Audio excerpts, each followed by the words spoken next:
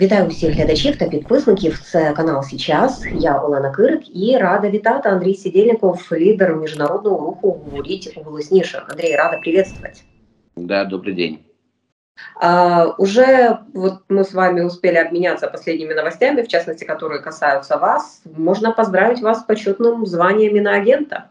Ну, я не знаю, нужно ли поздравлять или печалиться. Меня действительно начали поздравлять. Э, там Э, знакомые какие-то из разных стран, начали много писем. Ну, огромное количество вышло, конечно, в пятницу, когда список публиковали, но я э, там я готов, готовился к эфиру очередному своему и, в общем-то, узнал, честно говоря, когда мне просто пришли сообщения и э, начали журналисты звонить, брать комментарии. То есть для меня это было неожиданно, по большому счету, потому что, ну, как-то, не знаю, я 30 лет занимаюсь Э, общественно-политической деятельностью, из которых 16 лет я уже э, нахожусь за границей, в эмиграции, и как-то, в общем-то, я не переставал заниматься, и тут вот такое, не знаю, там, счастье, несчастье, понятия не имею, меня это, в общем-то, не особо там не радует, не печалит, потому что, ну, как-то, не знаю, я Определенный знак качества, наверное, это есть. Я неоднозначно отношусь вообще к списку иноагентов, потому что там есть э, люди, которые, в общем-то, ну,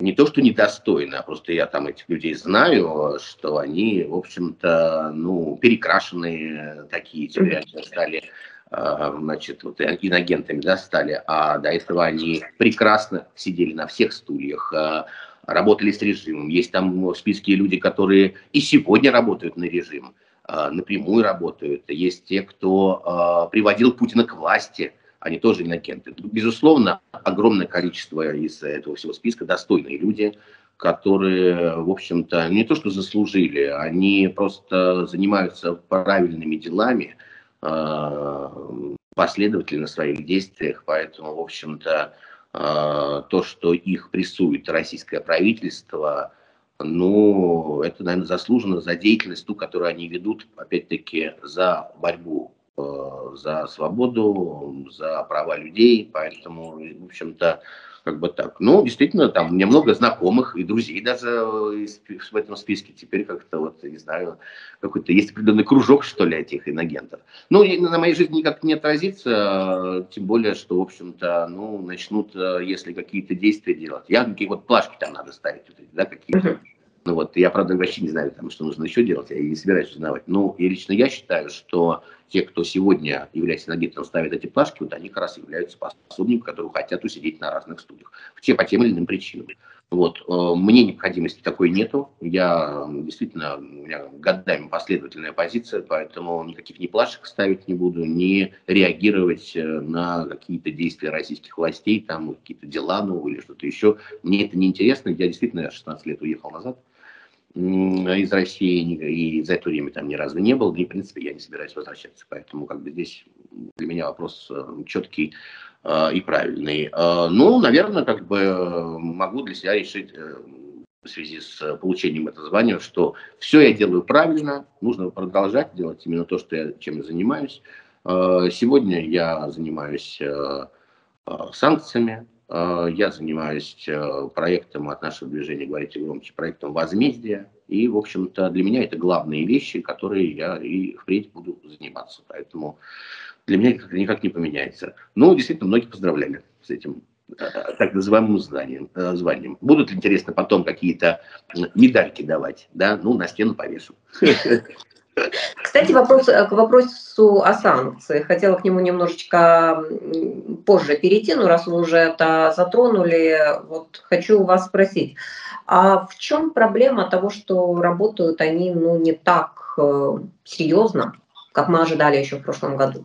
Последнее сообщение в водах вблизи Финляндии плавает множество российских теневых кораблей, вот этих танкеров, да, которые э, перевозят нефть, и с которыми ну, на уровне Евросоюза там, э, в последнем пакете санкций обсуждалось, что будут с ними бороться. Ну вот не борются, и все равно эти нефтедоллары хоть как-то, но попадают в российский бюджет, и, собственно, э, это помогает финансировать Путину войну, которую он ведет. Да, совершенно верно. Э, ну, проблема здесь главная, все-таки политической воли у Запада на сегодняшний день пока не хватает. Ну и действительно огромное количество компаний, людей, которые обходят сегодня санкции. Да? То есть Россия э, пытается найти разные лазейки. Бюрократическая машина западная, она вот настолько неповоротлива, что очень долго приходится добиваться санкционных каких-то вещей по каким-то э, там, физическим или юридическим лицам. Ну и э, тогда, когда сейчас идет в обход как бы санкции, ну это опять-таки необходимо все новые и новые э, придумывать методы для борьбы. Действительно огромное количество а, людей, которые уже в санкциях и которые должны находиться в санкциях. Да, работа а, не останавливается ни на минуту. Ну, сейчас я своей командой занят организацией Международного санкционного комитета. Я надеюсь, там, не знаю, может быть, через месяц нам удастся, в общем-то, предварительные дела уже и показать там, в более широком для широкой публики. А, но санкционная работа действительно, она идет ежедневно, а, она происходит по разным направлениям. Очень сложно бороться, опять-таки, с деньгами, вот с этими олигархами. У них деньги, у них власть, у них коррупция. Они пытаются всеми возможными способами вот выйти из-под санкций. Ну, вот у меня есть прекрасный пример, например, да, как бы вот как раз движение «Говорите громче», которое я возглавляю в Великобритании, в свое время добилось того, чтобы господина Тинькова, внесли в санкционные списки. А, но, как мы видим, а, после там, определенного количества времени ему удалось, это единственный сегодняшний э, день кейс, ему удалось соскочить из этого. Он прибегал к разным условиям. Естественно, огромное количество денег было затрачено для того, чтобы обелить. Более того, даже Михаил Ходорковский, который является, в общем-то, оппозиционной фигурой, да, Э, писал э, за него, э, под него подписывался, чтобы его как бы освободили от санкций. Я считаю, что это ошибка и преступление. Подобные люди обязаны быть в санкционных списках. Мы сейчас проводим конкретно по Тинькову работу отдельно в Великобритании, чтобы обратно его запихнуть в эти санкции. Ну и, естественно, стараемся так контролировать те фамилии, с которыми я работал все эти там месяцы и годы, и действительно огромное количество людей удалось внести в санкционные списки. Сегодня, прямо, не знаю, может быть, секрет какой-то могу открыть, идут а, переговоры с представителями Соединенных Штатов по а, целому ряду фамилий. Я называть их сейчас не буду. Там если удастся действительно договориться, а мне, мне кажется, что через какое-то время действительно нам удастся вот этот список а, от Международного санкционного комитета проводить а, в санкционные вещи разных стран, а, в общем-то, ну, дают плоды все равно. Но бороться э, энтузиазмом, скажем так, энтузиазмом против вот этой преступной машины, против этих преступников и пособников, у которых действительно деньги и власть, очень и очень сложно. Но так или иначе нам тоже много чего удается, и поэтому мы не собираемся э, с этого пути э, сходить э, и будем продолжать вот эту борьбу о, на санкционных вещах. Э, требуем действительно от Запада главного сейчас. Это полная экономическая, политическая и культурная эмбарго для того, чтобы а, перекрыть кислород, для того, чтобы, как вы сейчас а, сами сказали о примере а, вокруг Финляндии, например, чтобы вот этого не было. Но для этого должна действительно политическая воля и многих государств, и а, многих политиков. Поэтому с кем-то, опять-таки, а, можно договориться отдельно, и вот мы как раз а, там, свои действия направляем больше на взаимодействия с представителями Великобритании и Соединенных Штатов, потому что с Европейским Союзом, к сожалению, ну, это работа очень сложная в связи с тем, что там принимаются консенсусные решения, а мы знаем, что, например, та же самая Венгрия, да, э, имея голос в Европейском Союзе, э, ставит палки в колеса по всем вопросам санкционным, по поводу поддержки Э, Украины, ну и вообще э, о своем взаимодействии с Россией. Мы все прекрасно это видим, мы все прекрасно знаем, но так или иначе, да, работа все равно продолжается. Здесь э, никуда деваться, как говорится, у нас-то выхода другого нет. Нам нужна только победа, и нам нужно, чтобы пришло возмездие каждому пособнику в дальнейшем. И оно обязательно придет. Э, кстати, не могу вас не уточнить, раз об олигархах уже говорим, а почему Фридман вернулся-то в Москву? У вас есть, для вас это стало неожиданностью? Есть ли у вас объяснение этому?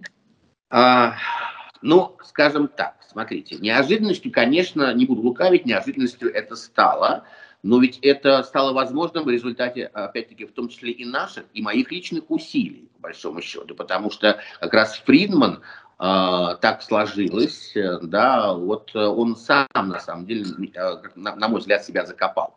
Э, потому что он э, в свое время огромное количество Э, денег спустил на лоббизм того, чтобы выйти себя из-под санкций, но вот э, летом э, удалось впихнуть его и в санкционный список Соединенных Штатов, который главный санкционный список. Оттуда уже так вот, как Тиньков вышел из-под санкций Великобритании, уже не получится. Ему потихонечку перекрывают кислород везде, и возвращаться в Россию, это, в общем-то, был вопрос времени, потому что, ну, действительно, его посадят, э, за границей его посадят. Так иначе а, он э, просто спасся от э, э, посадки, не от уголовного преследования. Все это будет продолжено. И как раз кейс Фридмана должен быть очень хорошим как раз примером для всех остальных. А, мы его выбрали для себя вот, в будущем санкционном комитете и как раз будем заниматься тем, чтобы вот он находится уже теперь по всевозможными санкциями, и будет и нужно сделать так, чтобы конфисковано было все имущество, которое находится у него на Западе, чтобы было конфисковано в пользу Украины. Вот просто до копейки. Вот то, что можно на Западе забрать, все активы, аффилированные с ним, э, с его команды Альфа-групп, которая является главным таким э, финансовым, э, финансовой опорой все эти десятилетия правления Владимира Путина, вот просто именно конфисковать, потому что э, на сегодняшний день вопрос конфискации пока мы видим не идет э, вот э, на Западе, пока вот э, еле-еле удается включать санкционные списки той или иной страны лиц и компаний. А сейчас нужен новый этап, именно этап конфискации всего имущества. И вот кейс Фринман будет прекрасным таким примером. Будем делать все возможное, чтобы действительно арестовывать а, активы и чтобы они были конфискованы в той или иной стране. Это долгий период, но так или иначе мы к нему идем, и я уверен, что рано или поздно у нас все получится. Вы говорите о том, что да, опасность у него была, да, что его на Западе посадят. А где гарантия, что его не посадят сейчас в России? -то? А меня это, кстати, совершенно не интересует. Ну, а ваш прогноз, в России кстати, ваш прогноз? А, нет, не посадят его в России. В России его не посадят. Он поделится, там опять-таки много, много активов, он активно участвует в войне, между прочим, а, помогает этому режиму. А, так что нет посадки для меня, во всяком случае, я вижу на сегодняшний день посадка в Россию исключена. Да, немножечко, может, подербанит его Э, активы внутри страны. Но нет, ожидать посадки ему там не стоит совершенно. А вот как бы действительно сделать все возможное, чтобы он больше никогда из России не уехал и конфисковать все имущество, ну вот это теперь в наших силах точно. А, Еще не могу вас не расспросить об Абрамовиче и вообще, кто он такой и в чем его ключевая роль, потому что несколько недель назад э, Кажется, издание «Медуза» сообщало о том, что э, в Роспропаганде дано такое негласное э, ЦУ э, вообще о нем никак не упоминать. Ну, насколько я понимаю, и в Украине есть негласное такое, в общем-то, ну, это не ЦУ, а ну, негласная информация эм, господина Абрамовича не обсуждать, насколько мне известно, во всяком случае, потому что я э, сталкиваюсь с подобными вещами, с какими-то рекомендациями с разных сторон э, не делать этого. Ну, э, здесь, наверное, в первую очередь, наверное, вопрос нужно отнести к э, властям э, Украины. Э, почему такое, э, такая преференция для него? Есть же информация о том, что он помогал до этого э, производить обмены военнопленных. Это, это важная, э, правильная работа. Здесь э, как бы сложно там бросить камень, как говорится. Но это же не обнуляет все то, что он делал до этого и как нажил свои капиталы. Поэтому, ну, он находится под санкциями Великобритании. По-моему, он под санкциями Европейского Союза, но не находится под санкциями Соединенных Штатов.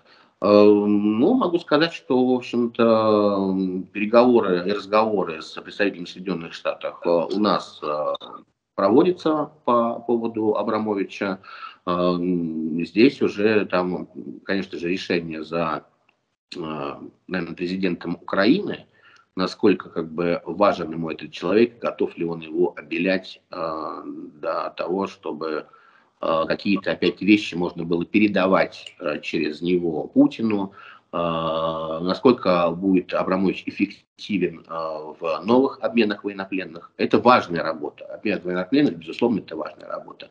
Но насколько все это, опять-таки, действительно нивелирует все остальные его поступки и действия. А, посмотрим, посмотрим, как поведут себя Соединенные Штаты. Здесь, э, опять-таки, разговоры, переговоры подобные проходят, а не только по Абрамовичу, по другим, как бы, естественно, лицам, кто сегодня не в санкционных списках. Так что, в общем-то, для меня это не табу. Мне Абрамович ничего не должен. А, я хоть и лично с ним знаком, э, виделись, э, там, последний раз я его видел на суде э, Борис Березовский против Абрамовича. Да? Вот. Ну, я считаю, что этот человек тоже преступник. Он должен понести заслуженное наказание и получить возмездие. Для меня как бы нету никаких преференций. Те, кто замешан в режиме, кто является его пособниками, для меня все едины, независимо от того, знаю я, дружу, с кем-то с кем-то взаимодействую или с кем-то взаимодействовал раньше, для меня это не имеет значения. Сегодня они все преступники. Они должны получить возмездие и заслуженное наказание. Следите вы сейчас за визитом Путина в Китай? Ну, постольку, поскольку видел вчера, опять-таки, его встречу с Орбаном. Вот как бы рукопожатие. То есть вот такие какие-то вещи. Неинтересно особо, что он там как бы в Китае делает. Вот если бы он поехал в такую либо страну, где, которая подписала римский статут, вот здесь, наверное, лучше наблюдать. Да? Вот Армения, например, ратифицировала э, сейчас э, эту юридическую возможность ареста Владимира Путина. Китай, естественно, ему ничего не угрожает в Китае, и, наверное, он поехал как там проситель Э, разных э, вещей, в том числе э, и, наверное, беспилотников. Мы недавно, да, там российская сторона так специально, не специально так получилось, что они проговорились, да, что почти все беспилотники, находящиеся сейчас на вооружении российской армии, они произведены в Китае. То есть, получается, Китай официально или неофициально поддерживает Россию в войне с Украиной. Ну, то есть, как бы, опять-таки, здесь должны уже заниматься Э, там, мировые лидеры и э, там, судебные дальнейшие инстанции и те, кто занимается санкционными списками и кто следит за выполнением э, наложенных санкций. То есть здесь уже должны быть реагировать государства. Там, в частном порядке, как вот там наши команды, э, те люди, которые занимаются санкциями, мы ну, просто не имеем возможности, э, кроме как публично прореагировать, да, или что-то проговорить. То есть никаких рычагов у нас для этого нету.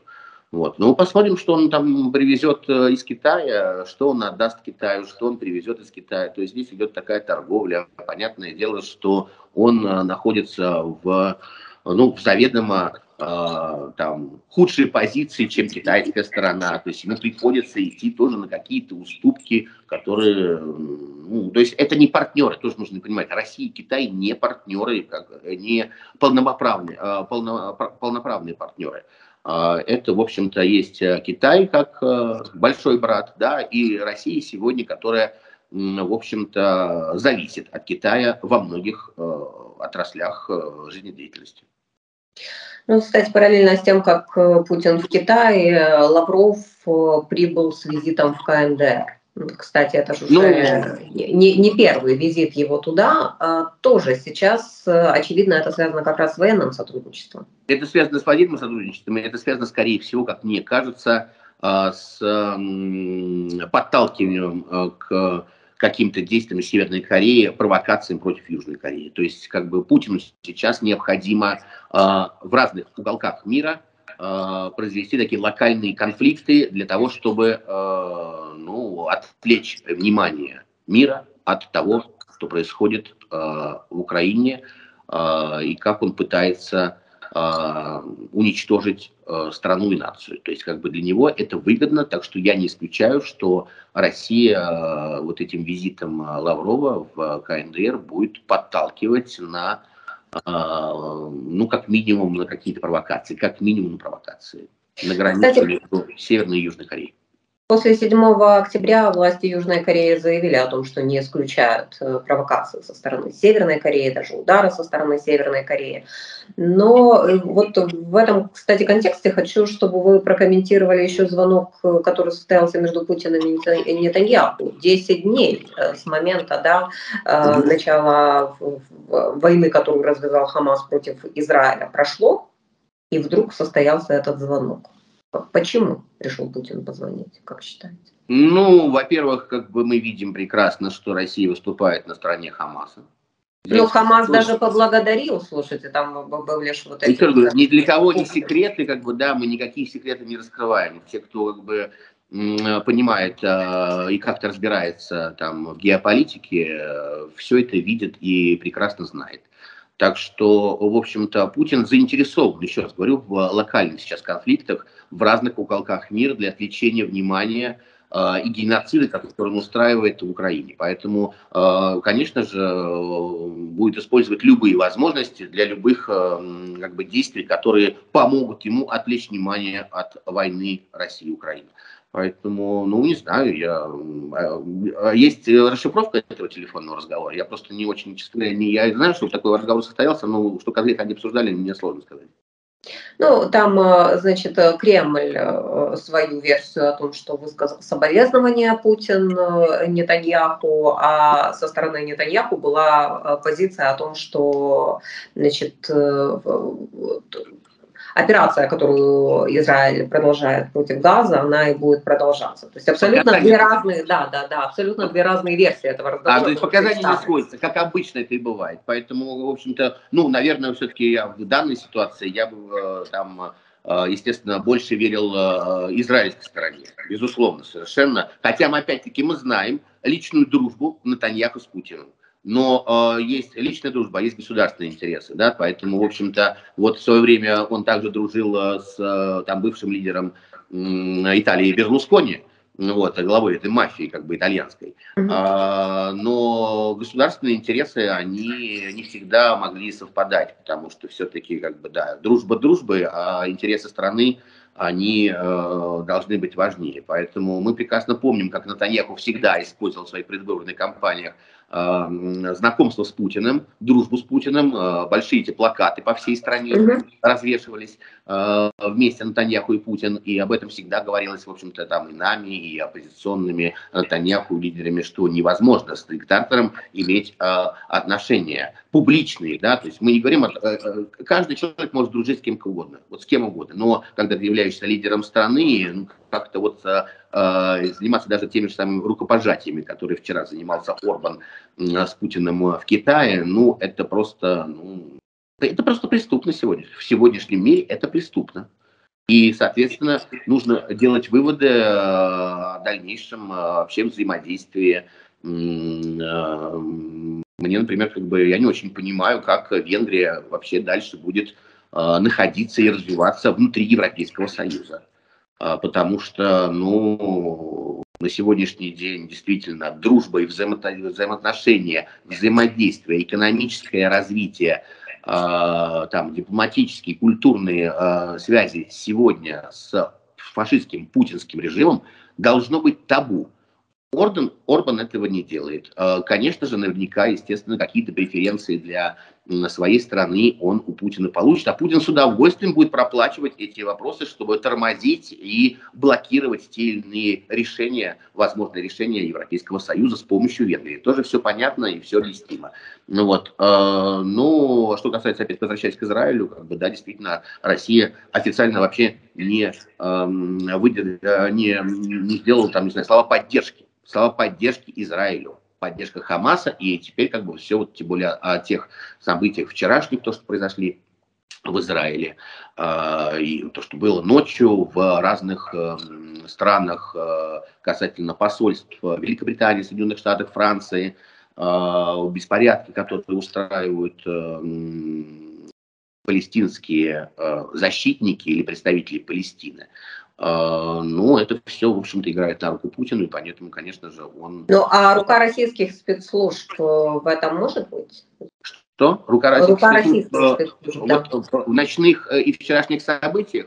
Ой, э, не могу сказать, как бы здесь, э, э, скажем так, голословно утверждать ничего не могу, потому что как бы было бы просто неправильно, да, и я как-то не люблю заниматься конспирологией. Да, да, да, и враньем. Но совершенно уже очевидно, что оружие, которое использует Хамас, оно предоставлено было российской стороной, часть, часть этого оружия. Совершенно понятно. И вот то, о чем говорили спецслужбы Украины, то, что было специально вот оружие, которое там, в боях получали там, тем или иным способом э, за счет как бы, отступления украинской армии, наступления российской армии за все эти месяцы войны, э, переправилось туда именно с провокационной э, историей, э, вот оно всплыло теперь у Хамаса. Оно может всплыть и в других каких-то конфликтах. Я этого совершенно не исключаю, потому что такими подлогами, э, вот таким как бы саботажем да и вредительством э, российская сторона занимается все годы. Поэтому ожидать от них можно э, всего самого наихудшего, и, э, скорее всего, это будет вообще будет действительно правдой, потому что мы видим, как последние года, как ведет себя российская власть, чем занимаются российские спецслужбы, э, как проводят вот эту политику э, внешнюю России. Так что здесь, э, в общем-то, сюрпризов никаких как бы нету, и нужно просто понимать, что действительно э, Россия стоит э, отчасти вот за этим сейчас э, войной э, значит, э, в Израиле. Так что здесь э, как бы никаких сюрпризов действительно нету. Андрей, я благодарю вас, как всегда, за интересную беседу. Рада вас видеть на канале сейчас. Спасибо. И я надеюсь, до скорых встреч. Да, спасибо большое. Андрій Сідєльников, лідер міжнародного руху «Говоріть голосніше, був разом із нами у цій порі. Традиційно наших глядачів закликаю підтримати цей стрім своїм лайком, коментарем. Ну і безумовно поширте важлива розмова. Так її побачить і почує якомога більше людей.